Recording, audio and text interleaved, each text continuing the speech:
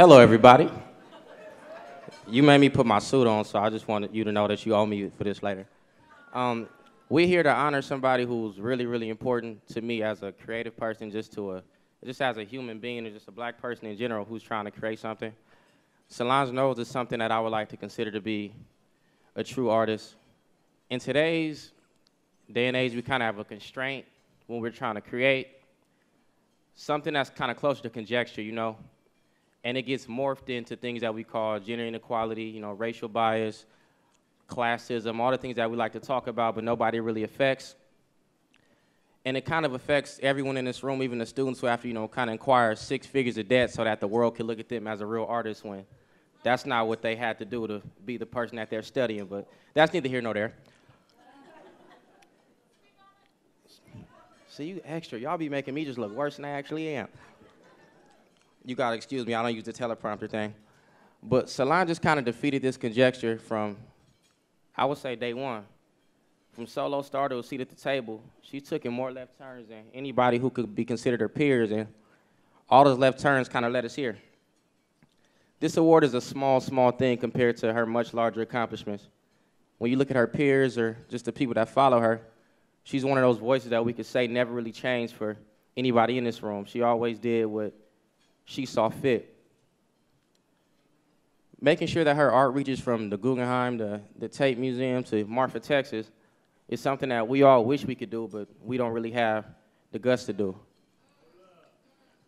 So, they said two minutes, right? How long I've been up here before they shut me up? All right, I'm just making sure I ain't trying to get in trouble. You know, I'm I'm not I'm not fitting in this situation. But um, now, as an artist, we all have things that we want to create, opposed to the things that we feel like we need to create. The artist that we, that audience that we want to reach, in comparison to the audience, audience that we think we need to reach. And she's kind of been the person I've seen do all at the same time. So, with that being said, I want to thank Solange for being who she is, and thank you all for finally appreciating something that you should have appreciated in 2002 when the first album came out. It was uh a couple people couldn't be here, so they decided to leave some video tribute. So this is the part they told me to cue the video. So cue the video. Solange, I'm so sorry I couldn't be there, but guess what? I'm sending a video just saying congratulations because you are so deserving of this award. Listen, you've always been raw, you've always been real, you've always been authentic, you've always been bold, fierce, and loving because you're a cancer just like me. And you've always marched to the beat of your own drum. That's what I love about you. When everybody else went right, you went left. When everybody else went left, you went right. And that's what's great about you and unique. And just keep pushing, sister. I love you. And we all are proud of you. I'm proud of you. And sorry I couldn't be there again, but enjoy your night, all right? One. Solange, congratulations you this is going to be tough for me because there's just so many things that I could talk about um, that's gotten you to this point. I mean, you have an amazing family, um, great parents, uh, and the impressions that were made upon you when you were young led you to doing amazing music, some of which I've had the, the pleasure of experiencing with you. But watching you go from Crush all the way to your seminal work, you know, seat at the table, unbelievable.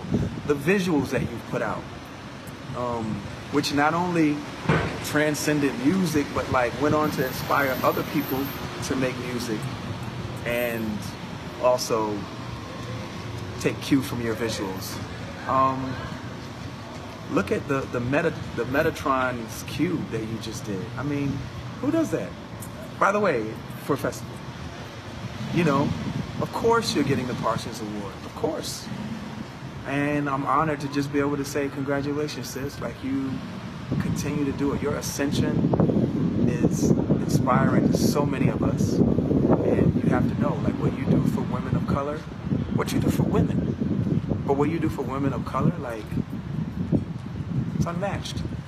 And I just I implore you to like keep going. Because we not only appreciate it and need it, it's fun and we love it. So keep going. Congratulations. Them that's God shall get, them that's not shall lose. So the Bible says, and it still is news. Mama may have,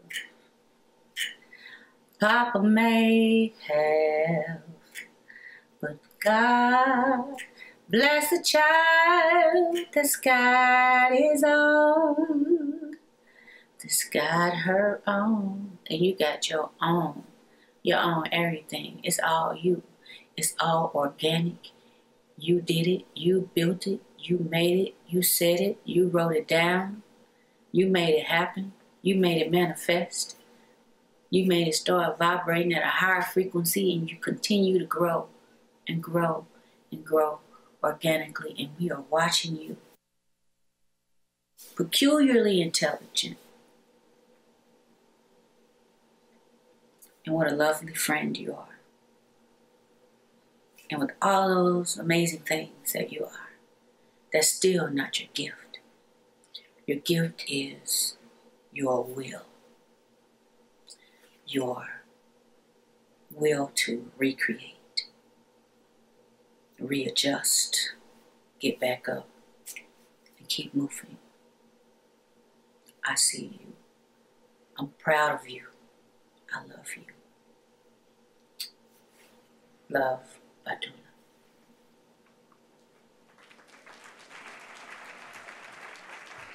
I'm pleased to present the Parsons Table Awards to the brilliance that is Solange. Knowles. Everybody make a round of applause, please.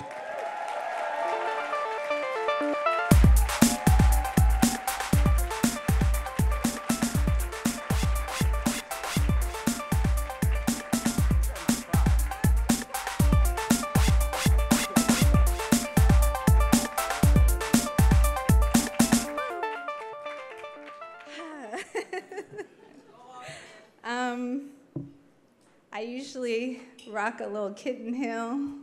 And I'm so happy I didn't because it would have broke by now by how shook I am. I'm just so overwhelmed with gratitude. I thank you so much, Parsons and the New School, for this incredible honor. And, whew, okay, let me breathe. I wrote it down because I knew I was going to be very emo. Um, Vince, I don't know where you went, but I love you so much and everything that you represent and speak to. And you're actually like my hero, and I want to be like you when I grow up. Um, Missy Pharrell and Queen Badu, I'm never, ever, ever going to be able to wipe the smile off of my face after seeing the words that you shared. You are my idols, my blueprints, and the epitome of the artist that I've strived to be. I've learned everything from you guys, and to think that you care about little ass me um, in that manner just makes me want to faint and scream and holy dance and drop it like it's hot all at once. Um, my little edges are already very damaged from bleaching them so much, but they're snatched. Um, Parsons and the new school, I cannot put into words how overwhelmingly awesome this is and how humbled and honored I am. This is really a beautiful night. I rode here in a stretch Hummer, and I'm internally grateful. Um, I wrote some things out. Um, 21 years ago today, this is actually the 21 anniversary, I saw Missy Elliott, Finger Waves, a rhinestone helmet with blood red tinted goggles, making the silhouette of the most epic lunar eclipse black moon I'd ever seen in a latex sculpture. And then three years later, I watched Erykah Badu trek through the desert, a space odyssey priestess, boots bigger than life, a parachute train longer than life, and a leather crown higher than anything that my imagination could ever reach for. And when I discovered Grace Jones as a teenager, I could not contain myself. It was all over from there. And after seeing these women and knowing that avant garde was not just reserved for the women society told me it was reserved for. You literally couldn't tell my little ass nothing that was on and popping. When I was 10 years old, I visited New York City, and capri pants with the little slits on the side were all the rage. I got a pair in three different colors, and I went back to Houston, Texas, straight feeling myself, walking into school with a little shoulder lean, head high.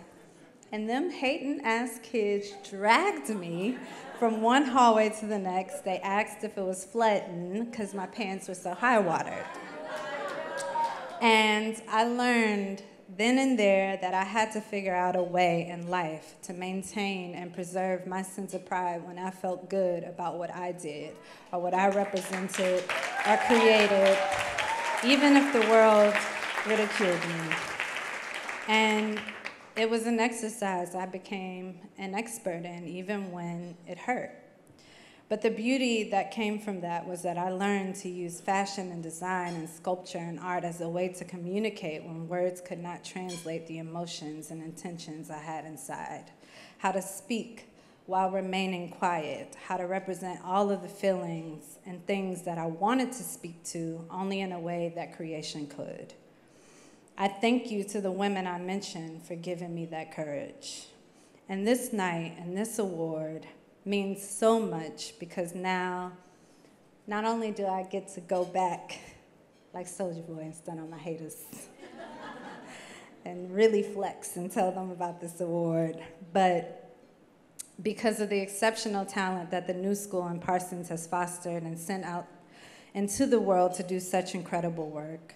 Students like Chanel Campbell, who I'm wearing tonight,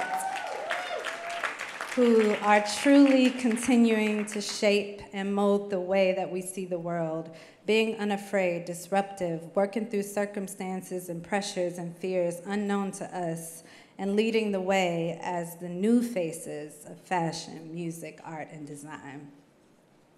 There's a few people I want to thank very quickly. Um, my mom and my dad and my sisters for nurturing my interests and passions and never making me surrender. Even when I went through my cowgirl phase, although I know those ugly ass boots were loud as hell, um, my Harajuku girl phase, my goth phase, and my really ugly fake ass hippie phase. Um, my incredible husband, Alan, who I get the honor of oftentimes collaborating with, and my collaborating with, and my son Jules, for being the utmost supportive in all that I do. The two of them inspire me forever. My St. Heron team and management, John Bogard, who fights tirelessly for all of my dreams to manifest. I thank you and appreciate you so much.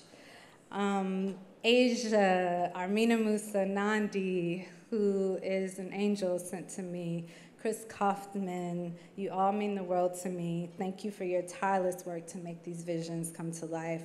To everyone who has taken a chance on me, many of them who are in the room, um, and believed in my craft and my work and have allowed me to explore new mediums and frontiers. To my friends, also, many of whom are in the room tonight, who I love so damn deeply and can't thank enough for all of their support and guidance. When I think I'm gonna lose it or make really bad decisions, they have my back so hard and love on me so hard. And I thank y'all so much with everything in me. To any and everyone who's ever stopped me on the street and told me a story on how they've connected with my work in any capacity, you are literally what I do it for. And I thank you so much to all the beautiful people in this room. This is going to remain in the bullet points of my life. I thank you so, so much for this. Thank you so much to the Parsons and the New School again, and for all the incredible work that you do. And to black women everywhere, you do what you want when you poppin'. thank you so much.